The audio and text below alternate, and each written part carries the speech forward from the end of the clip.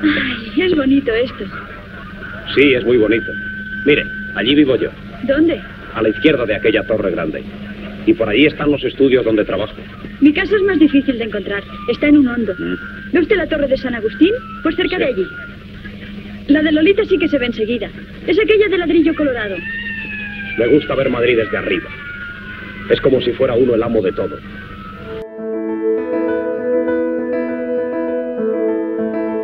El cine ha prestado, desde sus orígenes, una atención significativa a los espacios urbanos. La ciudad se presenta como un entorno espacial en el que se desarrollan historias diversas, pero a menudo este espacio trasciende el papel de mero escenario decorado, convirtiéndose en protagonista esencial. Esta relevancia narrativa y visual ha propiciado que las cámaras registren estructuras y morfologías urbanas, procesos de transformación espacial y funcional, contrastes entre áreas deprimidas y áreas privilegiadas, etc. La larga trayectoria del cine convierte a este medio, además, en documento geohistórico, pues permite atestiguar espacios urbanos ya desaparecidos, así como mostrarnos sus distintas fases de transformación.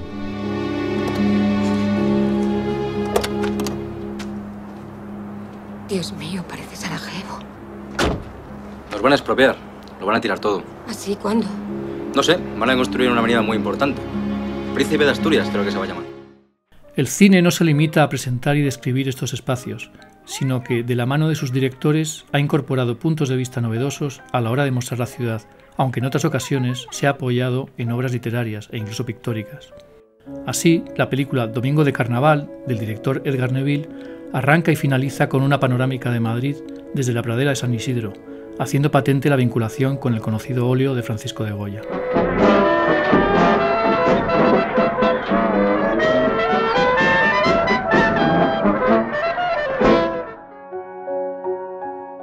En la evolución histórica de Madrid cabe diferenciar dos periodos claramente contrastados. El primero se caracteriza por su larga duración, desde sus orígenes árabes en el siglo IX hasta mediados del siglo XIX, así como por un crecimiento espacial limitado, como era habitual en las ciudades preindustriales. Aunque el segundo periodo se limita temporalmente al último siglo y medio, la ciudad se extiende en superficie de forma notable, ocupando una gran extensión y llegando a convertirse en una de las principales metrópolis europeas. Este cambio tiene como fundamento la transición desde una economía propia del antiguo régimen a otra industrial y finalmente postindustrial. La revolución que se produce desde mediados del siglo XIX en los medios de transporte, tanto interurbanos como intraurbanos, facilitó este acusado crecimiento de la ciudad. El día que quiera venderlo se hace rico. Ahí está la cosa. Es que yo no quiero venderlo. No crea que no han venido veces a querer comprármelo para hacer rascacielos. Pero yo aquí he vivido y aquí he de morir. Si quieren agrandar la ciudad, que construyan otra parte sin atropellarme a mí. Al coincidir este último periodo con el nacimiento y desarrollo de la fotografía y del cine, las cámaras se convierten en testigos inevitables de sus espacios y de sus gentes, así como de los cambios que la ciudad va experimentando.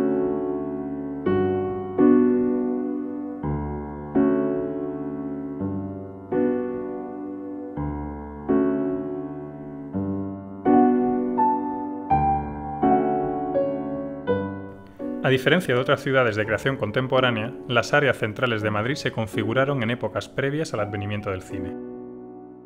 Su existencia, ya consolidada en el momento de surgir el cine, propició que se convirtiera en escenario de numerosas películas, tanto españolas como, a partir de mediados del siglo XX, extranjeras.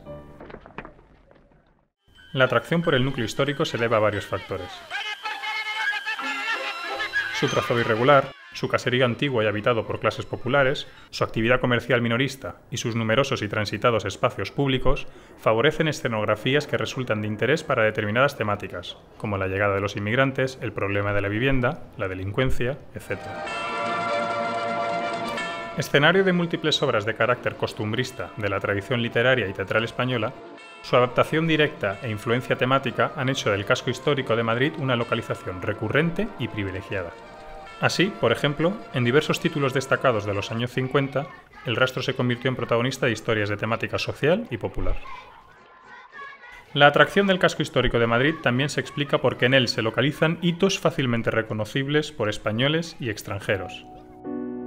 La Plaza Mayor, la Puerta del Sol, la Glorieta de Cibeles, la Puerta de Alcalá.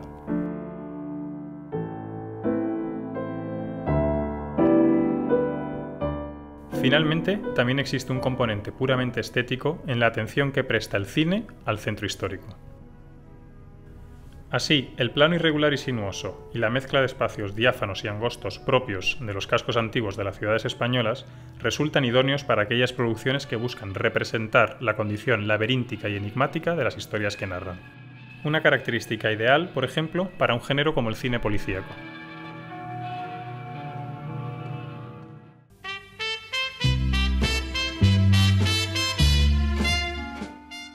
El centro histórico incluye una arteria de gran relevancia tanto para la propia ciudad como para su imagen cinematográfica, la Gran Vía.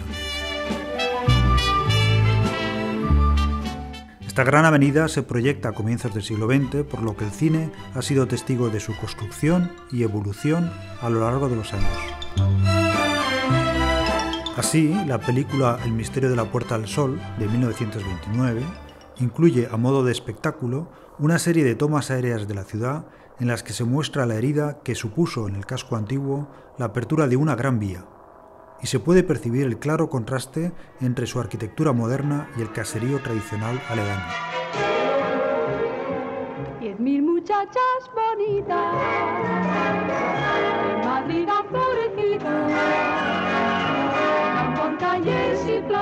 reparten banderas, sonríen y cantan.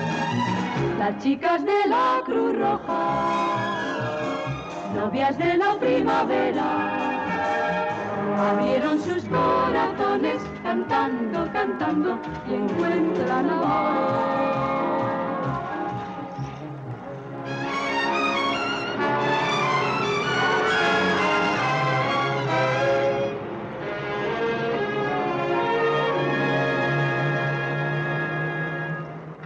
Termómetro de la situación socioeconómica de la capital, su relevancia cinematográfica continuará en décadas más recientes.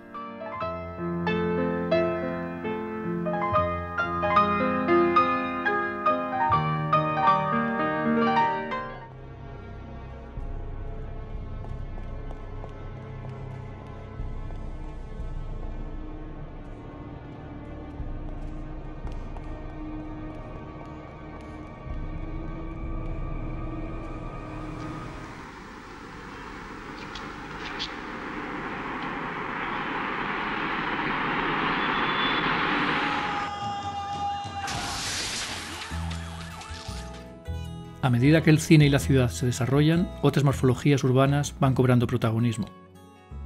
Un caso significativo es el del ensanche, que alberga a la burguesía emergente de Madrid y que empieza a conformarse a partir de 1860. A pesar de la amplia extensión superficial de los barrios que lo conforman, los de Salamanca, Retiro, Chamberí, Argüelles y Arganzuela, y de su notable peso económico y social, su presencia en el cine resulta claramente menor que la del casco histórico.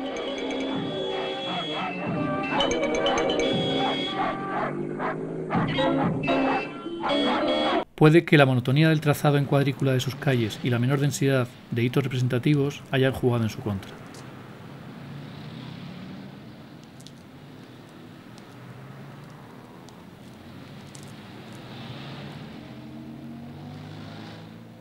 En todo caso, algunas películas transcurren, total o parcialmente, en el entorno del ensanche madrileño, que se presenta como un área de fuerte dinamismo económico, patente en sus rasgos arquitectónicos. Algunas de estas películas muestran en clave de humor características sociales propias de este sector de la ciudad. ¿Y entre Café Quijano y el Padre Apeles quién es más? Pues mira, el más super canalla de todos los que está diciendo, ¿sabes quién es? ¿Quién? Nosotros.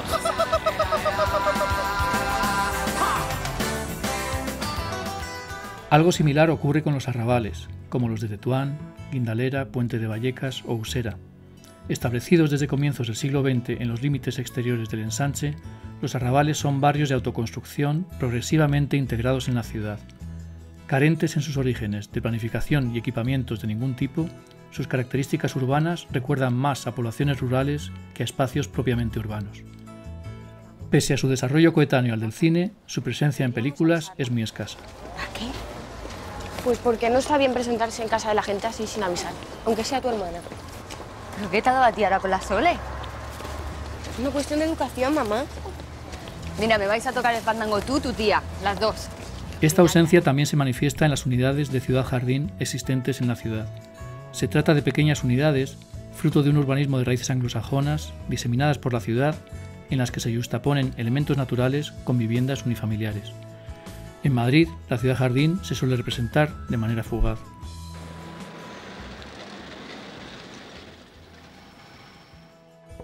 A partir del segundo lustro de los 50 y como respuesta del régimen franquista a los problemas de alojamiento, se desarrollan en casi todas las ciudades españolas los genéricamente conocidos como barrios de protección oficial.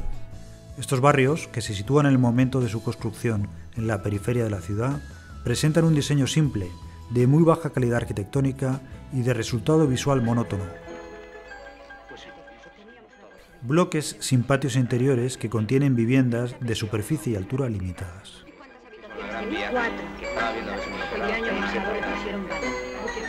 Estos espacios urbanos que nacen para dar solución a problemas como el de la vivienda han sido retratados por el cine, principalmente en obras de temática social que denotan la influencia del neorrealismo italiano.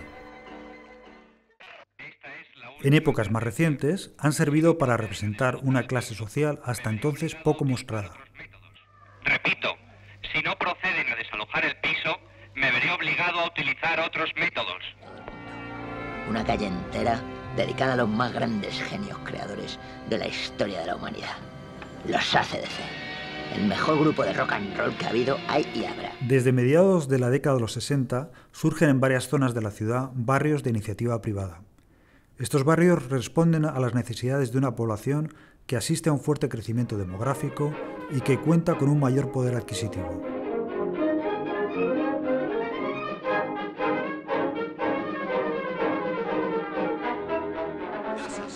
Casas en construcción. Montañas de casas en construcción. Se trata de entornos que abandonan el modelo propio del ensanche y adoptan una arquitectura en la que predominan bloques aislados destinados a usos residenciales. Al abuelo, que ya estamos. Un tercero, hace un cuarto. ¿Por qué no mandó el primero? Si la casa tiene ascensor, padre. Y cuando se chope el ascensor, ¿qué hago yo? Podía usted haberse quedado abajo, así no se habría cansado. Eh. ¿Qué luz tiene? Vaya vistas. Tercero, derecha. Es un cuarto. Cocina, cuarto de aseo, living comedor con su terraza, un dormitorio, otro dormitorio y otro dormitorio. Este es el mío. Bueno, Sí. ¿qué te parece? Estupendo. Este tipo de urbanismo coincide en el tiempo con el desarrollismo y con el vehículo privado como forma extendida de transporte.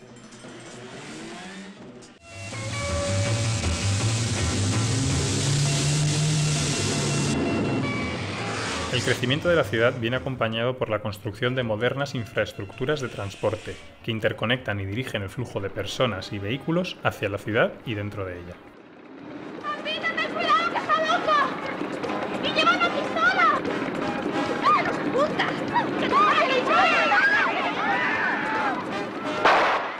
Es el caso de los puentes sobrelevados, popularmente denominados escalextrix, símbolo de modernidad de la época, al asegurar un tráfico casi continuo y evitando las molestas interrupciones de los vehículos por los semáforos.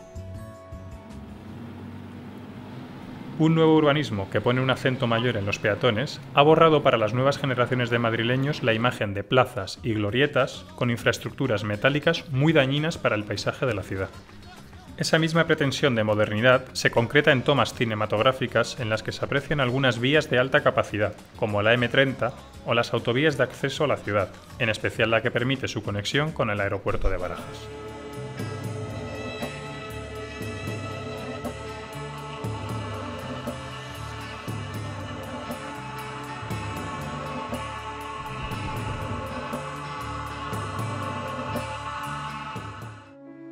Como se ha podido ver, el cine resulta testigo, si bien parcial y sesgado, del protagonismo que adquieren los espacios madrileños, casco antiguo, ensanche, arrabales, barrios de la periferia, conforme estos cobran relevancia. En estos mapas se puede apreciar cómo los lugares de rodaje se van desplazando progresivamente desde el centro a la periferia. Si en Domingo de Carnaval es el rastro el espacio protagonista, a finales de los años 50, la Gran Vía, recién finalizada, cobra un predominio visual notable. Esta pauta se reafirma en los años 60, si bien completada con alguna incursión en áreas como el Puente de los Franceses o el Cementerio de la Almudena. Desde los años 80 y 90 se añaden otras áreas, como Plaza de Castilla, el Arrabal de Tetuán, etc.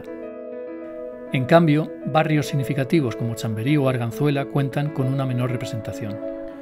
Al igual que ocurre en otras ciudades occidentales, en Madrid se asiste a la incorporación de nuevos espacios de rodaje coincidiendo con nuevos lenguajes cinematográficos.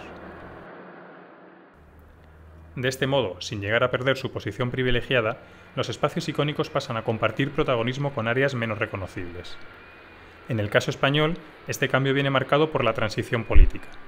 El fin del franquismo y el advenimiento de la democracia favorecen la aparición de nuevos directores e historias, que ponen el foco en los barrios de la periferia madrileña, desvelando así la existencia de un Madrid distinto al mostrado por la cinematografía oficial del franquismo. Desde los años 80 encontramos películas que buscan mostrar una serie de contrastes sociales, que a fin de cuentas también lo son desde el punto de vista urbanístico. Aunque muchos cineastas españoles han mostrado la progresiva extensión de la ciudad hacia la periferia, el centro continúa siendo una localización recurrente en gran parte del cine español. Contemplado con una cierta perspectiva temporal, se percibe una reiterada atención por determinados espacios de la ciudad que se presentan como itinerarios icónicos, casi a modo de postales de indudable reclamo turístico. de Madrid en ángulos característicos. Estábamos extrayendo la esencia pura de un documental urbano en una serie de encuadres eh, que luego nos resultaron demasiado, eh, demasiado de tarjeta postal. Esta tendencia es, si cabe, mucho más acusada en el caso de las producciones extranjeras, que se limitan a representar enclaves emblemáticos. La fijación por los hitos de la ciudad lleva en ocasiones a la omisión deliberada de partes no emblemáticas del espacio real.